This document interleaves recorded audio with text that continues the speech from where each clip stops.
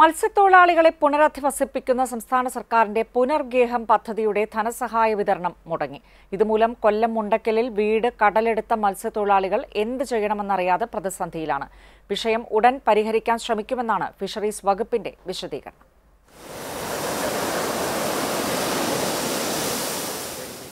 മുണ്ടക്കൽ ഉദയ മാർത്താണ്ഡപുരം സ്വദേശിയായ തങ്കമണി ഒറ്റയ്ക്കാണ് വീട്ടിൽ കഴിയുന്നത്. തിരമാലയുടെ ശബ്ദം കേൾക്കുമ്പോൾ ഇപ്പോൾ രാത്രിയിൽ ഉറക്കമില്ല. അടുക്കള ഭാഗം വരെ കടലെത്തി. ഏത് നിമിഷവും വീട് കടൽ കൊണ്ടുപോകുമെന്ന പേടിയിലാണ് ഈ അറുപത്തഞ്ചുകാരി. ഈ അറ്റം വരെയായി നമ്മുടെ ജനിച്ചപ്പോൾ തൊട്ട് ഉണ്ടാക്കിയ വാസക എന്ത്? എല്ലാം കൊടുത്ത് ഉണ്ടാക്കി. ഇവിടെ അങ്ങ് പോകുമെന്ന് അറിഞ്ഞില്ല ഞാൻ തൊട്ടടുത്തുള്ളവർക്കൊക്കെ വീട് നഷ്ടപ്പെട്ടു. പലരും ബന്ധുവീടുകളിലും അയൽപ്പക്കത്തുമൊക്കെയാണ് അഭയം തേടിയിരിക്കുന്നത്. മുണ്ടയ്ക്കലിലുണ്ടായ കടലാക്രമണത്തിൽ തകർന്നത് നിരവധി വീടുകൾ. ഇവരിൽ പലരും പുനർഗേഹം പദ്ധതിയിലൂടെ ലഭിച്ച ആദ്യ ഗഡുവിൽ മൂന്ന് സെന്റ് സ്ഥലം വാങ്ങി.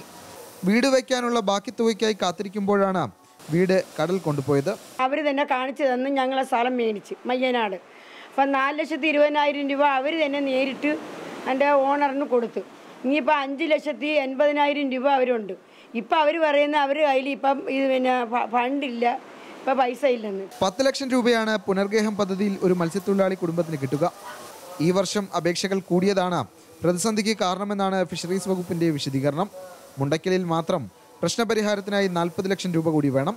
സംസ്ഥാനത്തെ മറ്റ് തീരദേശ ജില്ലകളിലും സമാന പ്രതിസന്ധിയാണുള്ളത്. വിഷയം മന്ത്രിയുടെ ശ്രദ്ധയിൽപ്പെടുത്തിയിട്ടുണ്ടെന്നും പ്രശ്നങ്ങൾ ഉടൻ പരിഹരിക്കുമെന്നുമാണ് ഫിഷറീസ് വകുപ്പ് പറയുന്നത്. ഏഷ്യാനെറ്റ് ന്യൂസ് കൊല്ലം.